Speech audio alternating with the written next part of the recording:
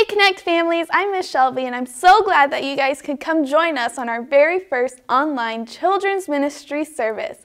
This is week four of our series Revealed and we basically took all of our large group and some of our small group and pushed it together.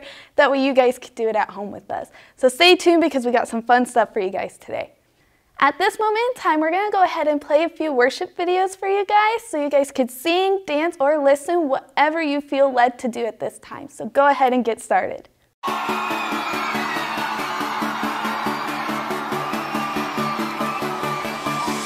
Staring into your eyes makes my heart come alive. Suddenly brought to life when I'm reaching beyond the sky.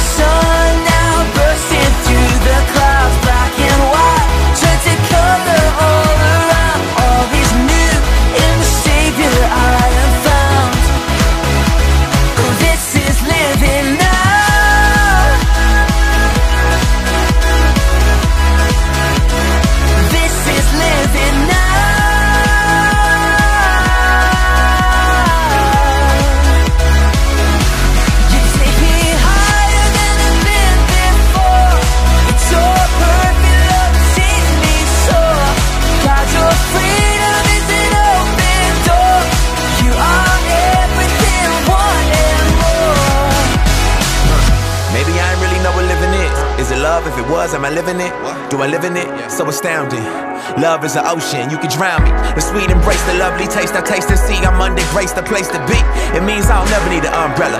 I'm cool in the cold, in the hot weather, whether or never I ever understand. I'm a man in the hands of great plans. I stand with faith there in a life I never known to touch. And still I outside my clutch, but I'm like, what's the dream of? What's the hope in? What's to die for? Live to no end. This is living. The life I've been given's a gift. If I'm a living, I'ma live it to death. So dream of? What's the hope in? What's to die for? And live to no end. This is living. The life I'ma give given's a gift. If I'm a living, I'ma live it to death. living Yeah.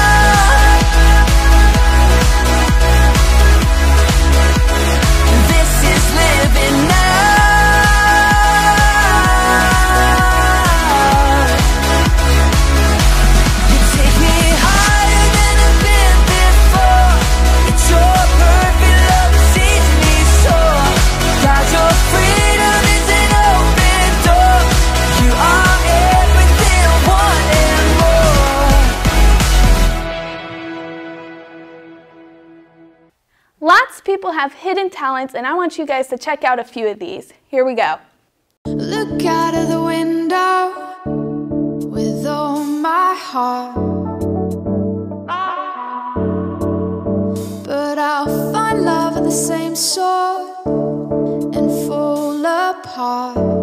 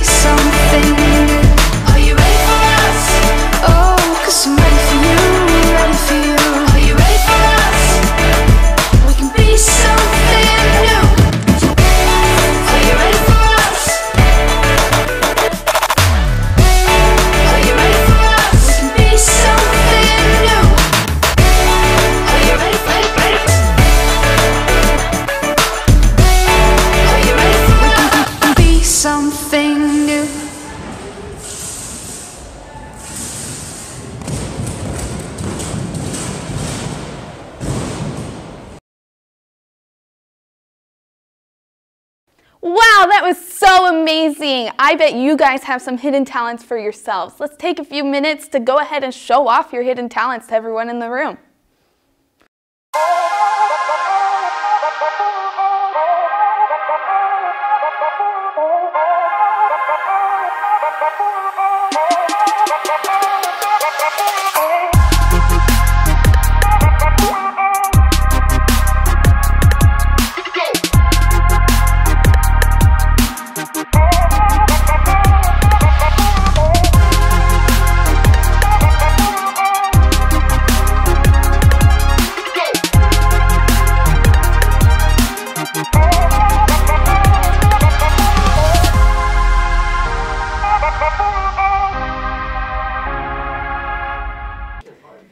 You guys had such amazing talents, and I'm so excited to see them in person one day. Right now, we're going to go ahead and jump into our Bible story for this week. So, if you brought your Bibles, go ahead and open up to Matthew chapter 25, verses 14 through 30. In children's, we read the NIRV version, so that's what I'll be reading to you today. Starting in verse 14, it says, Again, here's what the kingdom of heaven will be like. A man was going on a journey. He sent for his slaves and put them in charge of his money. He gave five bags of gold to one, he gave two bags to another, and he gave one bag to the third.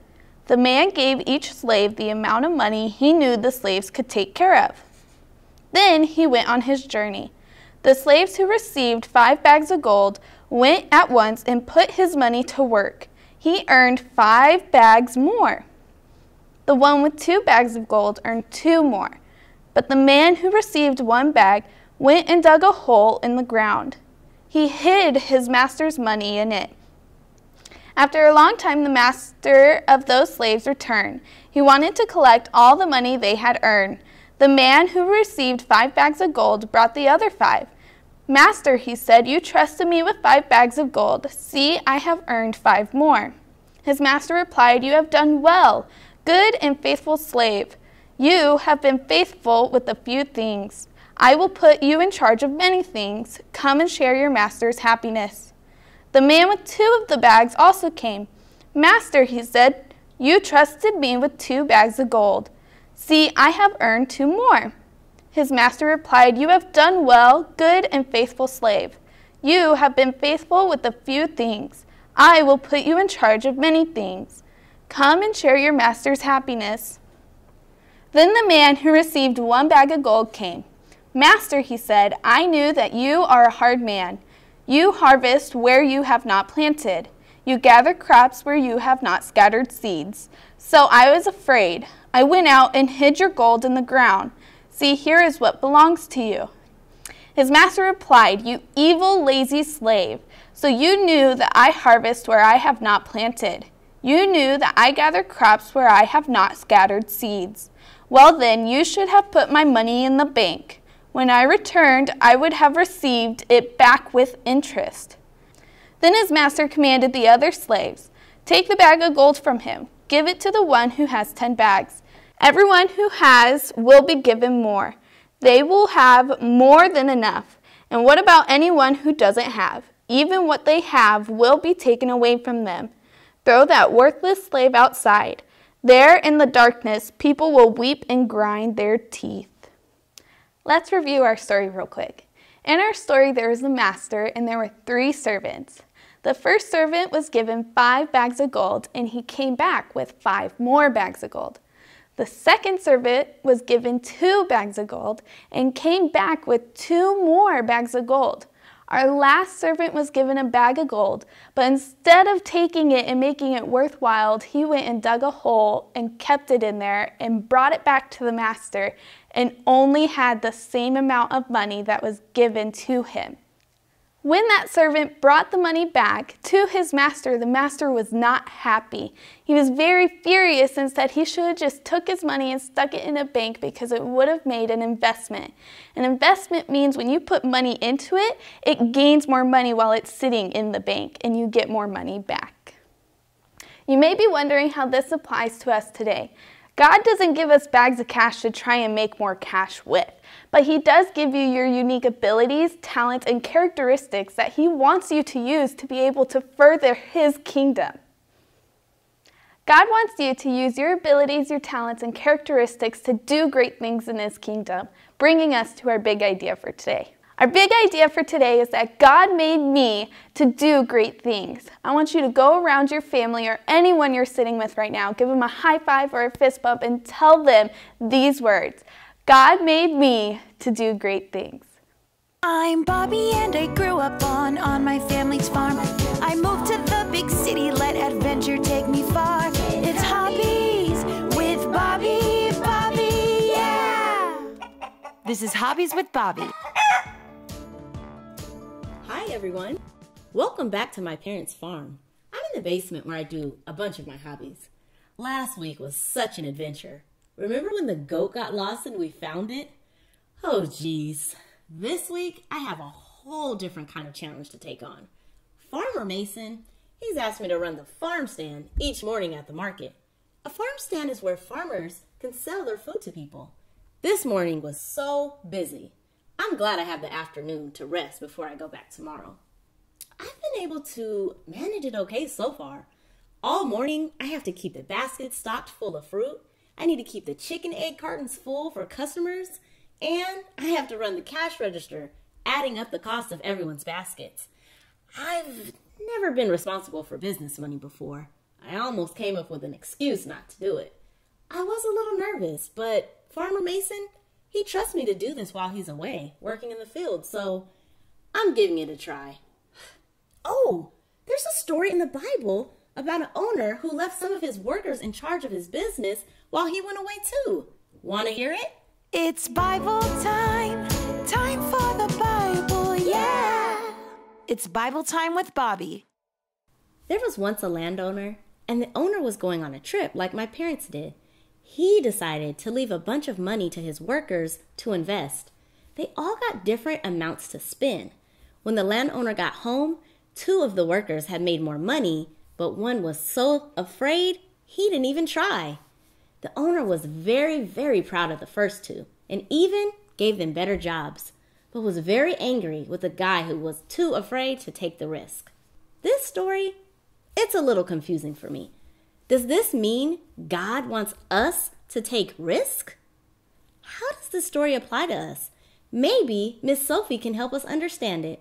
There has to be more here. More here. Hmm, there has to be more here.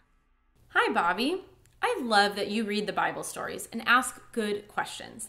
The more I study the Bible, the more I discover how much there is to keep learning. This story has a couple of key parts. Number one, I noticed that the landowner trusts the people who work for him. This means that God trusts us to carry out God's business. Yes, this is a great responsibility, but how wonderful to be trusted by God, especially when God is in the business of loving people. Number two, in Matthew chapter 25, verse 23, when the landowner gets home, he says, Well done, good and faithful servant. You have been faithful with a few things. I will put you in charge of many things. Come and share your master's happiness. God says that if you are faithful in the small things, then you will be trusted with even bigger things. And number three, God wants us to make an effort. This story says that it would be better to try and fail than to not try at all. This means that whatever kinds of abilities, interests, gifts, and unique characteristics you have, you can put them to use. I hope that helps, Bobby. Thanks for asking. Wow, that helps a lot. To be honest, a couple times I have been jealous when other people are good at things that I can't do. Some of you know my brother. Well, he's good at sports, and I'm not. But God has given him those talents.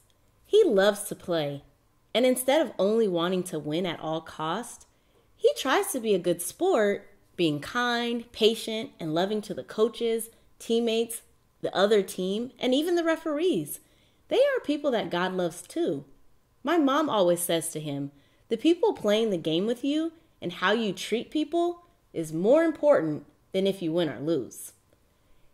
It seems like such a small thing, but when people notice how you play differently, you are doing a big thing by showing them God's love. Who knows? You might even get a chance to tell them about why you are the way you are because of God's love. Pretty cool. God made me do great things. That means God made you do great things too. I wonder what skills and talents I have. And what are some of yours? Oh, that's my phone. Hang on. Hello? Yes, hello, Farmer Mason. Let me put you on speaker. Bobby, I just got a call from one of the farm stand customers. Oh, no, uh, is everything okay? Oh, yes. Excellent, actually. She called to tell me how wonderful you are doing. You helped her find everything she needed, and were so friendly doing it. She called to say you were blessed by God with special patience and kindness. Your smile made her day. Wow, that is great. It seems God has blessed you with having patience and kindness. Thank you for taking such good care of my farm stand. So, as a bonus, how about when you finish with the farm stand, you come over to my farm and ride our horses? Horses?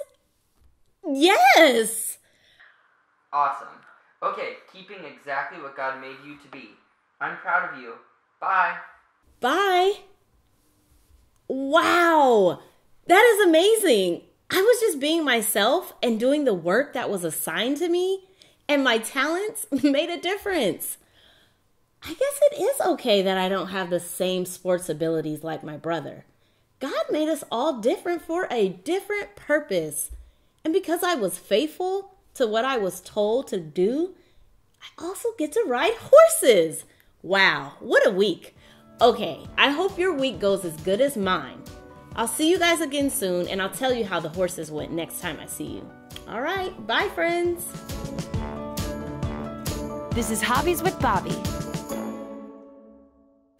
Man, I love Hobbies with Bobbies and her great stories and advice she gives to us each and every week. We're going to go ahead and jump into a time of discussion that you could do with your friends and family right now. I'm going to have the questions up on the screen and you could pause the video and read the questions and discuss them as a whole group. Let's get started.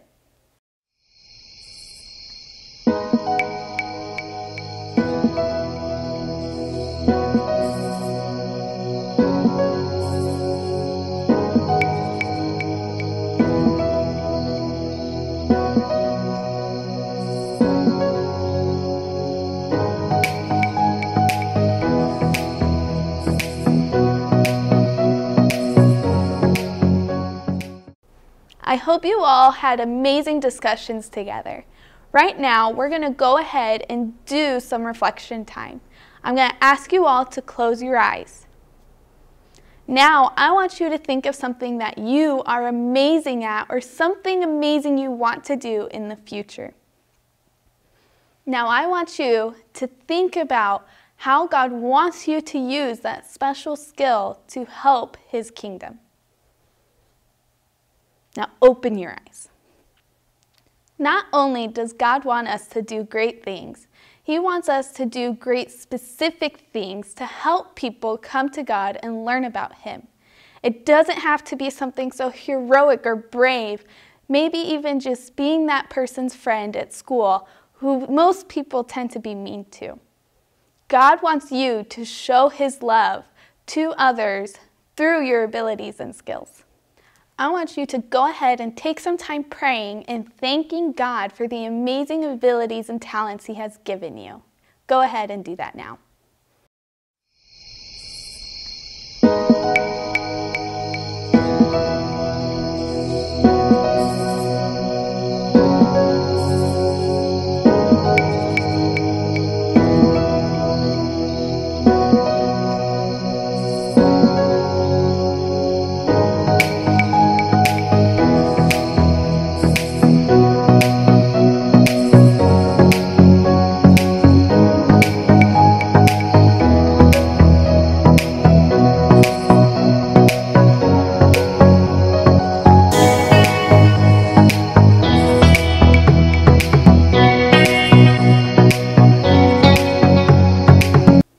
With all that being said, we're going to go ahead and jump right back into our Bible.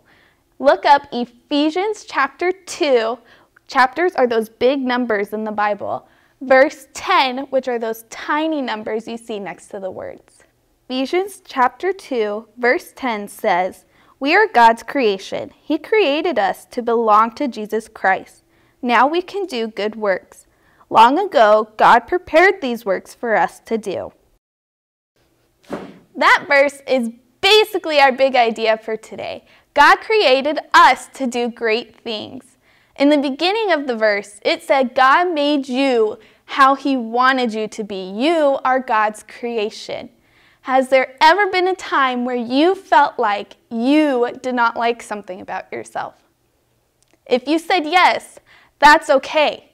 God made us exactly how He wanted us to be, and sometimes we feel like we aren't good enough.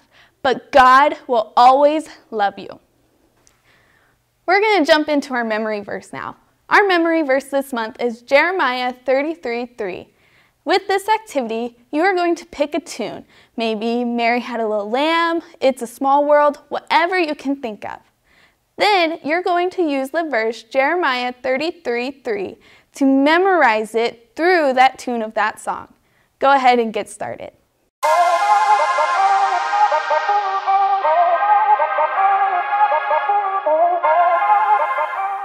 Thank you, Connect Families, for joining us on our very first online children's ministry service. I hope this message has reached you all healthy and well. Make sure to wash your hands. See you guys next week.